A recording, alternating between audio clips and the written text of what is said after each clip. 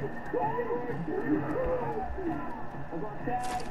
Neil, the public have decided that you should go on a date with Afia. Hashtag undergraduate.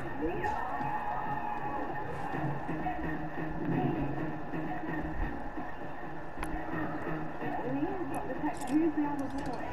I've got a tag. Neil, the public have decided that you should go on a date with SC2.